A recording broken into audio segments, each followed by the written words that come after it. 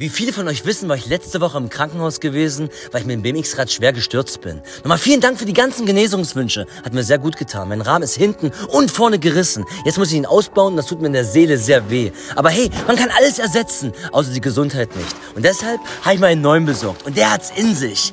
Dieser Rahmen ist fast so teuer wie ein Kleinwagen. Und schaut euch den jetzt mal an. Er ist aus Titan. Mit einer Länge von 19,2 TT lang. Wunderschön, oder? Und hört mal, wie der klingt.